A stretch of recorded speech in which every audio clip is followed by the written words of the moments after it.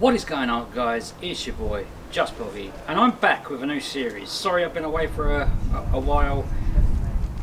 So much has gone down. But that's for another video. Right, so today, as you see from the title, and this bad boy, we're doing another arcade one-up build. I brought this a while ago. Um, it was a non-working cabinet. Um, basically, the screen was smashed, and I'll show you that now. There you go. A close up. Um, yeah, the screen got obliterated. Someone had, uh, from the looks of it, from the um, screen protector, put a pole through it or something, and I'll show you the screen protector now.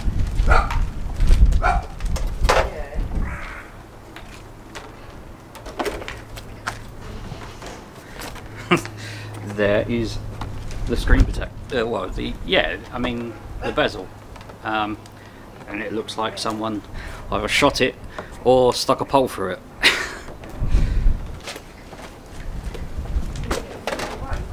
I don't know whether that was a kid with a temper, temper tantrum or people got more money than sense. I don't know. So I picked this up, um, but to be honest, I don't really think it was worth it. I picked it up because I wanted to have an official Arcade One cabinet. I don't know why. Um, spare of the moment thing, I think. Because the one I built before, so much stronger than this. This is just, this is terrible.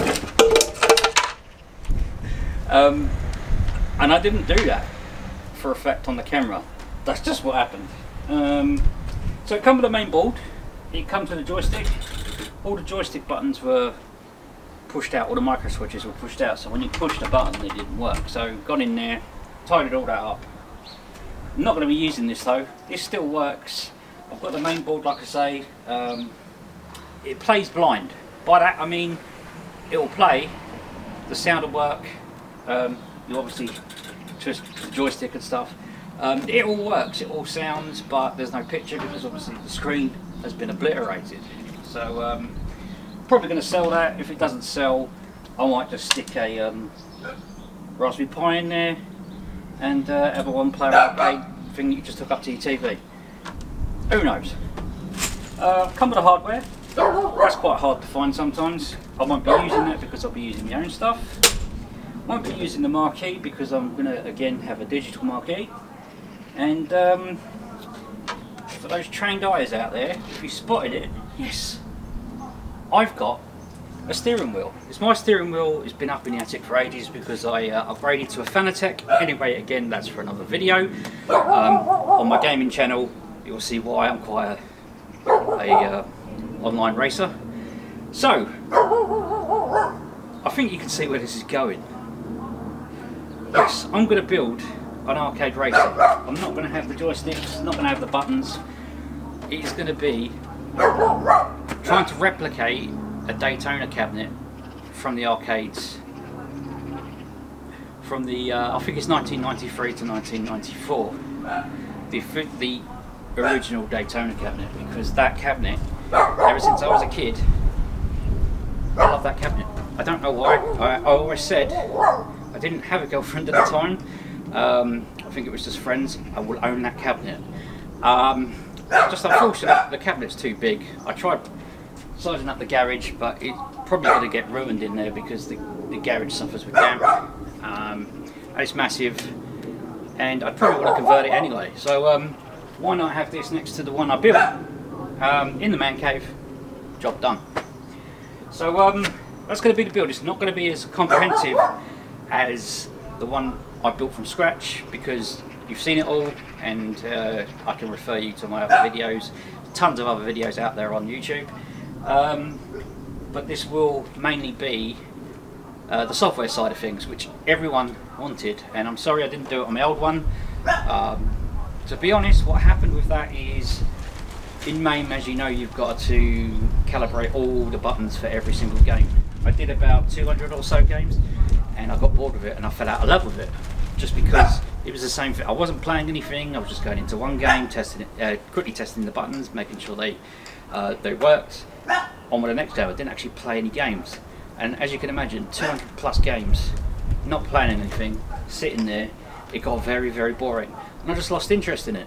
Um, it was there basically. I switched it on, and it just randomly played through. Uh, you know, just the um, attract mode. It was cool, but um, racing is where my heart is. Anyone who knows me knows I love the cars, so this is the way forward. Um, it's recommended to use a Logitech G25, G27, G29 or 920. I think I got that right. Um, but I'm going to use a Thrustmaster, they're better wheeled. I tried to sell this Thrustmaster. This is I brought this originally back in 2013. Very light use. I tried to sell it to get a, a Logitech, and to be honest, I'd sell that for hardly anything and have to put loads of money in to get a Logitech. And anyone knows that who's, who's had one, who's thinking about buying one, they're an entry level wheel. They're cog driven, all plastic cogs, and uh, they're not that great. But to be honest, I was paying a ton more for that than this, and this is such a better wheel. But it's recommended for a Logitech. I'm not going to go that route. I'm going to do it differently. A because I've got the wheel, um, and don't want to spend another 200 pound or whatever they're going on now second hand uh, on marketplaces and stuff like that on eBay. So I'm going to have to do things a bit differently. That's how I roll. Custom, baby. So, the next video, video you'll see is me trying to attack this. Um, it's not great, the artwork's all scratched up. Um, so I've ordered new artwork. Um, this will go because I'm going to have pedals. Everything is going to be custom. It's not, I could just slam it on here. It's been done before, been done loads of times. It doesn't look great. You lose screen real estate. And I want something different. So um, if you're interested, stick around. Click the subscribe button. Do me a favour. Give me a thumbs up for filming this for you because it does take a lot out of me. Um, it does take a lot to film and then edit and post it. And if you could, please do me a favour, give me a thumbs up. And uh, that's going to be it for this video, guys.